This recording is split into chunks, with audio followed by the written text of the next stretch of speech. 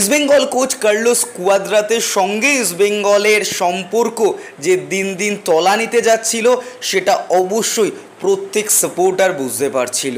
এবং ইস্টবেঙ্গল মোহনবাগান, মলিনা এবং Carlos Cuadrat তাদের যে পারফরমেন্স তাদের যে ট্যাকটিক্যাল মুভগুলো সেইগুলো কোথাও গিয়ে ইস্টবেঙ্গল ম্যানেজমেন্ট বা মোহনবাগান ম্যানেজমেন্ট আতস কাজের তলায় রেখেছিল, তা নিঃসন্দেহে বোঝা যাচ্ছিল।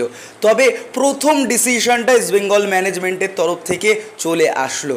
তারা স্যাক করলেন বা কোথাও গিয়ে বলা যায়, এটাকে ঠিক স্যাকও বলা যায় না, মিউচুয়াল টার্মিনেট করে নিল কিন্তু কার্লোস কুয়াদ্রাত ইস্টবেঙ্গলের সাথে। অর্থাৎ আলোচনায় বসেছে, তোমার পারফরমেন্স আমাদের পছন্দ হচ্ছে না, তো তাই তুমি সরে যাও। তো সেটাই কিন্তু ভদ্রলোক কার্লোস কুয়াদ্রাত অবশ্যই মেনে নিয়ে তিনি সরে গেছেন রিজাইন দিয়ে। অবশ্যই স্যাকের থেকে এটা বলা যায় যে তিনি পদত্যাগ করে চলে গেলেন।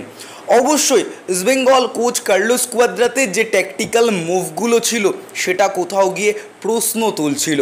গত ম্যাচে আমরা আলোচনা করেছিলাম যে ইস্টবেঙ্গল যে প্রথম একাদশ নামিয়েছে, সেখানে কিন্তু হেক্টর উস্তিকে ডিফেন্সিভ মিডিও ইউজ করে ডিফেন্সিভ মিডিও পজিশনটা অর্থাৎ ডিফেন্সের ওপরের পোর্শনটা আরও বেশি স্ট্রং করা, যাতে ডিফেন্স অনেক বেশি স্টেবল দেখায়। বাই অবভিয়াসলি ভালো মুভ বাট ভাই, একজন ডিফেন্সিভ মিডিও সৌভিক চক্রবর্তীকে আমি খেলাবো রাইট ব্যাকে এবং একজন সেন্টার ব্যাককে খেলাবো ডিফেন্সিভ মিডিও পজিশনে এটা কোথাও গিয়ে মান্যতা দেয়া যায় না বা কোনো সাপোর্টাররাই মেনে নেয়নি। গতদিনে আমাদের একটা পোস্ট যেটা প্রচণ্ড পরিমাণে ভাইরালও হয়েছে যে একই প্রোডাক্ট শুধু আলাদা লেভেল মারা কার্লোস কুয়াদ্রাত এবং মলিনা। তো সেরকমই জায়গা থেকে কিন্তু ইস্টবেঙ্গল ম্যানেজমেন্ট সিদ্ধান্ত নিয়ে তাকে সরিয়ে দিয়েছে এবং অন্তর্বর্তীকালীন কোচ হিসাবে এই মুহূর্তে বিনো জর্জ দায়িত্ব নিচ্ছেন। আগামী পাঁচ তারিখ বাই দেশীয় দুই কোচের লড়াই দেখা যাবে। একদিকে খালিদ জামিলের জামশেদপুর, তিনি দুটো ম্যাচ জিতে শুরু করেছেন, তারপরের ম্যাচটা হেরেছেন।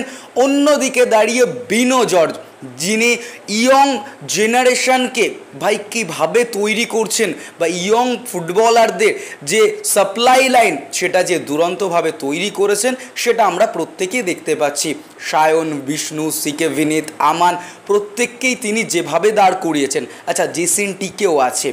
তো এই ফুটবলারদের নিয়ে অবশ্যই আগামী ম্যাচে তিনি তার প্রথম রণকৌশল সাজাবেন। অন্যদিকে দাঁড়িয়ে সঞ্জয় সেন, যিনি কিনা ইস্টবেঙ্গলের টিডি হিসাবে একটা নাম শোনা যাচ্ছিল। তবে এই মুহূর্তে তিনি বাংলা দলের দায়িত্ব আছেন। তিনি কতটা ইস্টবেঙ্গলের দায়িত্ব নেবেন সেটা নিয়ে কিন্তু একটা প্রশ্নচিহ্ন থাকছে। অন্যদিকে শোনা যাচ্ছে যে হাবাসকেও নাকি ইস্টবেঙ্গল ম্যানেজমেন্ট একটু চেষ্টা করছিল বা বাজিয়ে দেখছিল যে তাকে আনা যায় কিনা। বাট একেবারেই নিমরাজি ইন্টারকাশি হাবাসকে ছাড়ার ব্যাপারে, কারণ তারা কিন্তু হাবাসের তত্ত্বাবধানেই টিম গুছিয়েছে। এই মুহূর্তে দাঁড়িয়ে দুই কোচ ইস্ট বেঙ্গলের র্যাডারে রয়েছে। তবে তারাই যে একেবারে চূড়ান্ত, সে কথা কিন্তু এই মুহূর্তে শিলমোহর দিয়ে বলা যাচ্ছে না। কেরালা ব্লাস্টার্স এবং পাঞ্জাব এফসির দুই কোচ, যাদের হাত ধরে উঠে এসেছে মাদি তালাল থেকে ডায়মন্ড টাকসের মতো তারকারা। একজন পাঞ্জাব এফসির বা গ্রিসের কোচ, তিনি কিনা স্টুইকস ভার্জেটিস এবং অন্যদিকে Kerala ব্লাস্টার্সের Serbian ex coach Ivan Vukomanovic একজন কিন্তু ফোর থ্রি থ্রি অ্যাটাকিং পছন্দ করেন, অর্থাৎ স্ট্রিকস অন্যদিকে ইভান ভুকোমানবিক কিন্তু ফোর টু টু ফরমেশানে খেলান। ইভান ভুকোমানবিক এই মুহূর্তে ফ্রি এজেন্ট আছেন এবং স্ট্রাইকস কিন্তু সুপার লিগ টু গ্রিসের সেকেন্ড ডিভিশন লিগে দু হাজার পঁচিশ অবধি একটি ক্লাবের সাথে চুক্তিবদ্ধ আছে।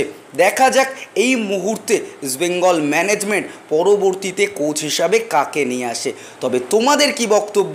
ইস্টবেঙ্গলে বিনো জর্জকেই কি এই সিজনের দায়িত্ব দেওয়া দরকার পুরোপুরিভাবে? নাকি বিনো জর্জের পরবর্তীতে কোনো কোচকে বা কিছুটা ম্যাচ বিনো জর্জ সামলে দিয়ে পরবর্তীতে নতুন কোনো বিদেশি কোচ আনাটা দরকার? সেটা অবশ্যই তোমরা কমেন্ট বক্সে কমেন্ট করে জানিও। দেখা হচ্ছে আগামী ভিডিওতে